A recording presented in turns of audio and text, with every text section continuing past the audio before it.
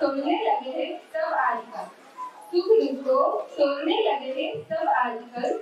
लगता है किसी को औरों का कम ज़्यादा खुद सॉरी, लगता है किसी को खुद का कम ज़्यादा तो औरों का कम। पर सुख दुख का तो कोई मापन नहीं होता। ये तो जितना मानो, उतना ही नहीं लगता। कोई कुछ सुख के स्वर्ग में बैठ भी है होता तो कोई गम के सागर में से भी हंसता कुछ अच्छा नहीं इस जहाँ में, कुछ अच्छा नहीं इस जहाँ में, क्यों है तू सोचता? बदल के अपना नज़रिया, जो तू उसे देखता। बदल के अपना नज़रिया, जो तू उसे देखता।